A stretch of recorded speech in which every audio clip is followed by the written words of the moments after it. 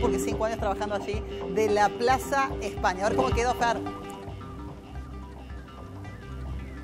Gracias, Ximena, Daniel. Bueno, no saben lo bello que ha quedado esta obra, realmente es impactante. Eh, además de acompañar el clima, se puede disfrutar de lo que es esta inauguración tan ansiada, tan esperada.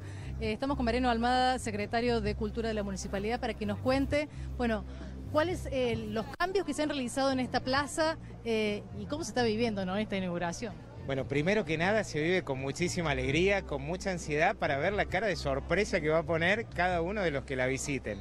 Y claramente los cambios están a la vista en lo que tiene que ver. Ahora nos encontramos en la Plaza Seca, la recuperación de todo lo que es el piso vidriado que permite ver todas las actividades que van pasando en los distintos subsuelos, la recuperación de estas esculturas que eran parte de los tótem, pero bueno, se han puesto y se han dispuesto de una manera diferente. Las fuentes que también andan, porque en el último tiempo no, nunca las vimos funcionar. Las fuentes, la iluminación que tienen las fuentes y dos subsuelos en donde hay más de 2.000 metros cuadrados a disposición de lo que pensamos eh, va a ser el objetivo de trabajo.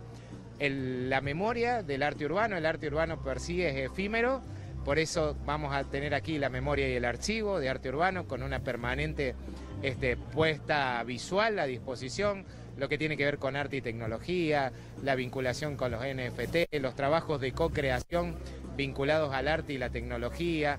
Bueno, muchísimo nos espera de trabajo y claramente con una planta, un segundo subsuelo que va a permitir pensar en congresos, convenciones, ferias, charlas, un lugar multifunción, un museo como verdaderamente la ciudad de Córdoba se merece y que va a ser un polo turístico y atractivo porque está pensado para que así lo sea, ¿no? Un museo metropolitano de arte urbano. Claro, eso justamente iba a decir que todos los cordobeses lo conocemos como la Plaza España, pero hoy vuelve con muchísimo más, un museo que realmente tiene otras opciones de uso y también de participación de los ciudadanos. Claramente, la Plaza España hoy sigue estando, sigue siendo la que conocemos todos, pero en el corazón de la plaza, mejorada claramente, ¿no? Pero en el corazón de la plaza, un espacio público de calidad que verdaderamente va a ser que del disfrute y uso de tantísima gente y con una mirada cultural como la que le da el intendente Martín Yardora, que tiene que ver con esto, la innovación, la tecnología, eh, los nuevos aportes que el arte va recibiendo a partir de tantos artistas que además van a tener un espacio para su visibilización.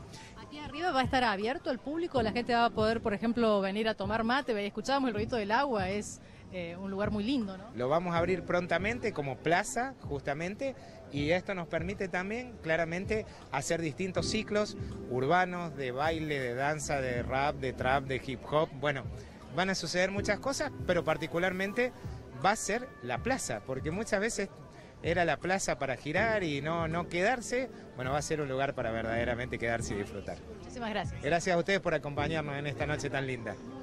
Bueno, en minutos nada más va a comenzar lo que va a ser esta inauguración y queremos mostrarles también de fondo lo que es realmente el, elemento distintivo del centro de la Plaza España hoy, que todo el mundo camina por el centro y es un piso que es vidriado, que permite ver los dos subsuelos, tiene un 25 metros de profundidad, eh, realmente es el atractivo que mucha gente viene, pisa, mira con desconfianza, pero bueno, realmente hermoso como ha quedado eh, renovada la Plaza España, este museo metropolitano que hoy se suma para estar dispuesto para los ciudadanos aquí de la ciudad de Córdoba y de la provincia. Volvemos con ustedes.